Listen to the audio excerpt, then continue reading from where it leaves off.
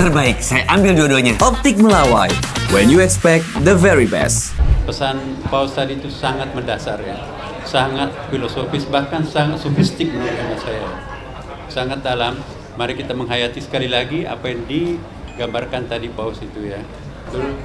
Dan kami mengundang untuk senantiasa kalau perlu kita kasih tempat istirahatnya di Istiqlal. Ya apa pun agama kalian kita bisa bekerja sama untuk menebarkan menebarkan kemanusiaan. Nah, pertama saya ingin sampaikan ya bahwa dua message tadi yang kita sampaikan.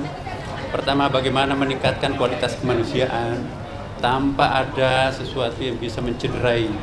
Ya, pesan Paus tadi itu sangat mendasar ya, sangat filosofis bahkan sangat sofistik menurut saya, sangat dalam. Mari kita menghayati sekali lagi apa yang digambarkan tadi Paus itu ya, dan juga mungkin bisa disejajarkan dengan apa yang tadi saya statementkan. Jadi mungkin teorinya apa yang disampaikan oleh Paul, tapi kami ingin merealisasikan dalam bentuk fakta dengan adanya terowongan, dengan adanya joint parking di, di sini ya, dan berbagai macam kegiatan bersama yang kita lakukan. Toleransi itu bukan hanya diseminarkan, toleransi itu bukan hanya di diwacanakan, tapi toleransi itu dibuktikan. Inilah yang dilakukan Istiqlal, tidak banyak bicara tetapi banyak berbuat. Dan kami menghimbau pada rekan-rekan semua mari kita bekerja dengan hati nurani karena hati nurani berbicara bisa diterima semua pihak. Saya motonya humanity is only one. Kemanusiaan itu hanya satu. Gak ada bedanya satu sama lain. Itu sesuai dengan prinsip kami dalam Islam. Walaqad karamna bani Adam Allah memuliakan anak cucu Adam. Anak cucu Adam apa pun agamanya etniknya warga negaranya jenis kelaminnya we are the same kita sama semuanya Oke, ada pertanyaan? Pak, tadi kan ada penandatanganan ya di depan Hmm? terowongan silaturahmi. Iya.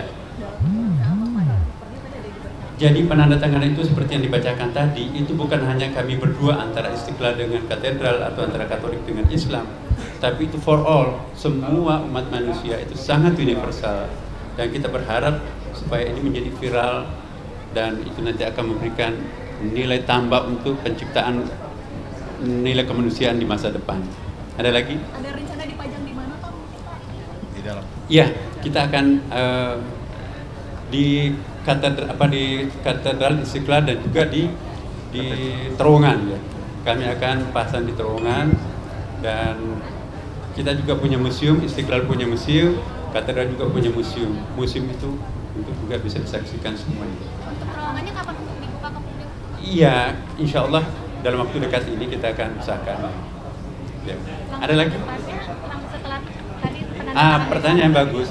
Kami juga sudah eh, sampaikan kepada Romo tadi bahwa ini jangan hanya sampai di sini, tapi kita harus tidak lanjuti dalam bentuk eh, program action untuk di masa depan. Ya, antara lain kita akan sampaikan juga nanti ya. Mungkin kita akan melakukan pertemuan rutin, terutama tadi membicarakan tentang lingkungan, penyelamatan lingkungan. Kami sangat yakin ya, jika hati nurani yang berbicara, tidak ada sekat politik, tidak ada sekat agama, dan tidak ada sekat kewarganegaraan. Karena semua berasal dari sebuah terowongan bawah tanah tadi istilahnya bos ya. Kita berasal dari satu titik dan di atasnya berbeda. Terbaik, saya ambil dua-duanya. Optik Melawai, when you expect the very best.